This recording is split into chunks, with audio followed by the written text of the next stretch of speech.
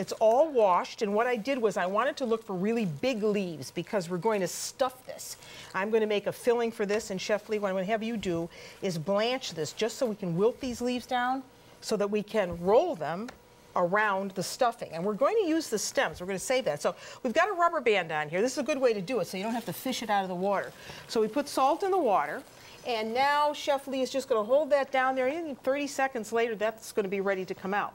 So the filling for this, and I think that this is a really just nice simple filling, will be with ricotta cheese. And I know that you're always looking for good purveyors of ricotta cheese, right? Always. Especially when you're in Italy. So we're going to put this in a bowl. I drained it off so I didn't have all that extra water. And I'm going to just season it with some uh, parsley. So here's some flat leaf par parsley, Italian flat leaf.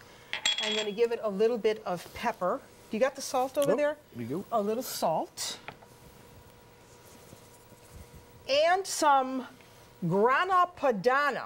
Do you like grana padano? I love the grana. How do you use it in the restaurant? Oh, we, you know, we use it for finishing pizzas and uh, pasta dishes. Mm-hmm. You know, not so much a serving cheese, but uh, more of a garnishing cheese. Okay, so I've got the cheese in there, and I want one egg just to bind this all together. So this is essentially going to be part of our filling, but we're going to do something with the stems. So we just mix this all around. And because I'm having a tomato sauce with this, it's kind of like in the Southern Italian tradition. How do you use Swiss chard when you're cooking in the restaurant?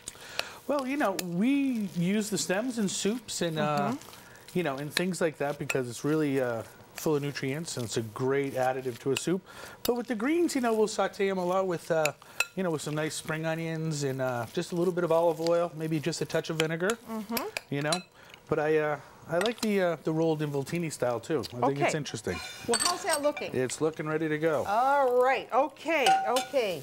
Excellent. So now let's put that there. We're going to have to dry that off with a, a few paper towels. Now, the thing about this is you don't want to handle this, of course, until it's, it's cool enough, even though I have asbestos fingers. Yes. But I'm going to take these stems and I'm going to have you cut those. Let me get you another cutting board. I'm going to move over a little bit, get a smaller cutting board. And why don't you cut those stems off? Perfect. And while you're doing that, I'm going to heat up some olive oil in this pan because we're going to use those stems because in Italian cooking, as we all know, nothing is wasted. Isn't that right, Chef Lee? No, and these have great flavor too. They add some nice color to uh, to the dish also. Okay, so we're going to dice that up, and here's some onion to go with that. So onion and the stems go in the pan. When that's a little bit soft, then we can add it to our ricotta cheese mixture. So back to this, I'm going to take off and discard that rubber band. And then once you have them wilted down, and the only reason we did this is so that we, were, we would be able to roll them. So you see how beautiful they have retained their color. And now I have to do one other thing, which is to take off a little bit more of this stem. So you don't, you don't throw this away. I'm taking a little bit more off so that I can roll this easy enough. So you just trim around the edges. I'll give you a few more, Chef Yep, Lee, for you beautiful. to put in. And you like to go to Italy, don't you? Oh, you we- like to spend a lot of time in Italy. We try to spend as uh, at least two trips a year. And what do you do? over. What do you do? Are you looking for particular uh, producers?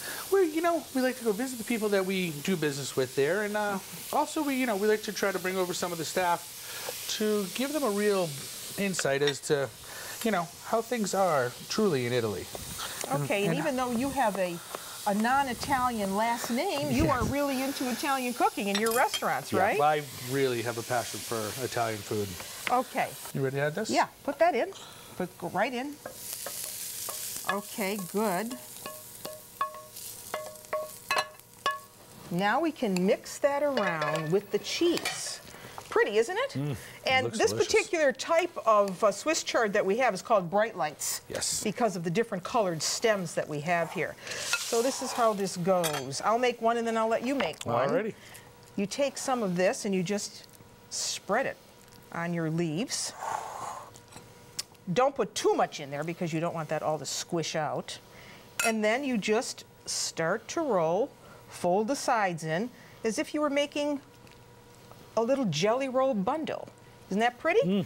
Okay, chef, I'm Mm. Going to let delicious. you make a couple. And here we've started with some. So I'm going to add this one to the pan. We put a little bit of tomato sauce Beautiful. down in the base of the pan, and this is just basically a little extra virgin olive oil, some onion. You can put carrot in for a little bit of sweetness if you want, some garlic, plum tomatoes, which are the tomatoes of choice for making a sauce, right? Salt, pepper. Do you add sugar to your sauce? Depending on uh, how uh, sweet or you know how the tomatoes are. Mm-hmm. You know, if they're really uh, meaty and sweet, then we kind of hold Then back a touch. okay. You know. Isn't this pretty? Oh, this is great. really pretty. So plum tomatoes, and then if you want to add a little bit of wine, you can do that. Um, extra virgin. Why don't you grate a little bit more cheese? Right in that drawer, there's a Sure. a, uh, a little microplane zester. I'm going to put just a tad of oil and some more tomato sauce over the top. Mm. Doesn't this look good? Now, how long do you think this will cook for? This is going to take about 30 minutes or so to bake. Looks like the Italian flag It almost, does. not it? so just spread the tomato sauce. Your oven's on at 350 degrees. Mm-mm-mm. Okay, why don't you put the cheese on? That looks good. Little grated cheese. I'll get some foil. And in the oven it goes about 35 minutes later. We're to be ready to serve this. Gorgeous. Okay, so we've got that.